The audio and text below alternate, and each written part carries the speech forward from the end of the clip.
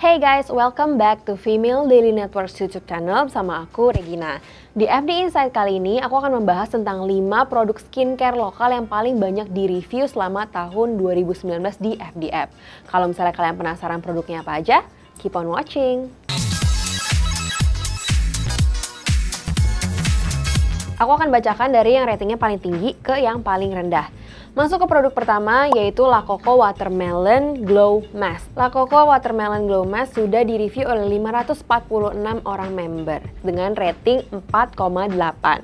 Jadi menurut para FD member, wangi dari skincare ini cukup terasa, teksturnya berbentuk gel bening, kalau misalnya dipakai di malam hari, efeknya akan terasa keesokan paginya, muka jadi terasa lebih glowing, terus lebih lembab, dan bagi beberapa para member merasa bahwa bekas-bekas jerawatnya juga banyak yang tersamarkan. Setelah wajah dibilas, akan terasa kalau kulit menjadi lebih halus, kemudian pemakaiannya juga cukup sedikit saja, itu cukup untuk menutupi seluruh bagian wajah. Skincare ini juga cukup terasa ringan di wajah dan gak mengganggu atau mengotori bantal kalau dipakai di malam hari.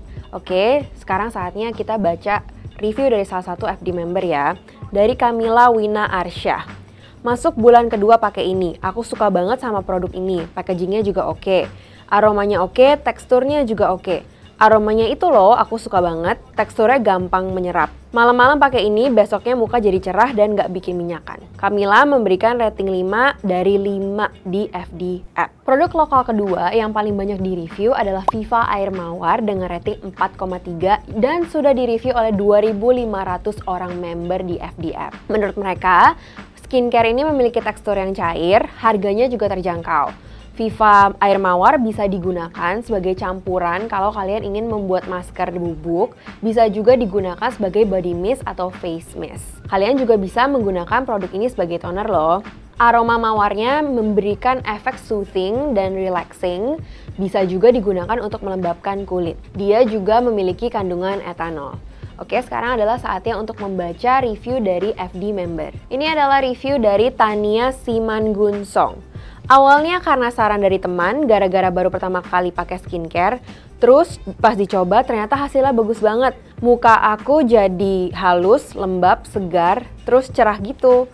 Ngurangin beruntusan juga sih kalau di aku, recommended banget. Tania memberikan rating 5 dari 5 bintang untuk produk ini. Produk ketiga yang juga paling banyak di review adalah Pixi Aqua Beauty Protecting Mist yang memiliki rating 4,2. Produk ini telah di review oleh 2.900 FD member. Menurut mereka, produk ini harganya cukup terjangkau, terus ada efek menyegarkannya di muka, cukup melembabkan untuk digunakan sebagai face mask.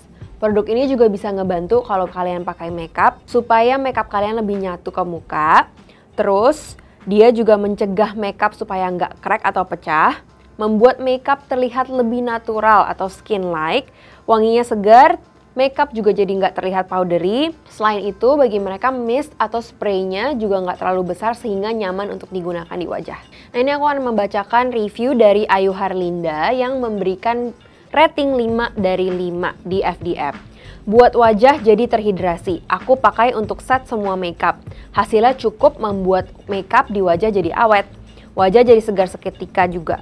Yang aku suka di dalam kandungan ini tidak ada alkohol, untuk semprotan lumayan halus, packaging mudah dibawa ke mana-mana. Produk keempat yang paling banyak di review di FD App itu adalah Viva Green Tea Face Tonic dengan rating 4,2 dan telah direview oleh 2.500 orang member. Menurut mereka, Produk ini banyak disukai oleh FD member karena nggak mengandung banyak alkohol. Terus wajah jadi terasa segar jika digunakan sebagai toner sehabis cleansing. Produk ini cocok buat kalian yang memiliki problem jerawat. Kalau misalnya kalian punya jerawat, kalian bisa tuang toner ini ke kapas kemudian digunakan untuk mengkompres jerawat kalian. Produk ini ada scent atau wanginya, harganya terjangkau, menenangkan wajah saat beruntusan, terus ada efek calmingnya, membantu mengurangi tampilan wajah berminyak. Banyak member yang mencampur produk ini juga dengan toner atau astringen Viva lainnya, misalnya contohnya yang lemon. Nah, sekarang aku akan membaca review dari Frida Azani Aprilia yang memberikan rating 5 dari 5. Toner lokal terbagus terngefek di mukaku yang acne prone skin ini. Lumayan nampol buat jerawatan sama beruntusan, tapi perlu waktu ya buat berangsur-angsur hilang. Tapi karena aku acne prone skin, wajahku masih sering muncul jerawat gitu, hehe. Tapi ini lumayan bantu sih buat jerawat atau beruntusan. Biasanya aku sering kompresin toner ini ke area yang berjerawat. Harganya murah banget dong. Nah, produk terakhir yang paling banyak di-review di FD App itu adalah Avoskin Miraculous Refining Toner dengan rating sebesar 4,2. Produk ini sudah direview oleh 420 orang FD member di FD App. Menurut mereka, ini produknya memiliki tekstur cair. Terus untuk yang belum pernah pakai exfoliating toner, lebih baik menggunakan seminggu 2 sampai 3 kali saja. Ada sensasi tinglingnya kalau dipakai di wajah, kemudian mengandung tea tree oil, harganya relatif terjangkau. Produk ini bisa membantu mengurangi blackhead atau komedo, bisa juga mengurangi kesan wajah kusam. Bagi banyak FD member, produk ini bisa memenuhi kebutuhan-kebutuhan exfoliating yang cukup jarang ada di brand lainnya.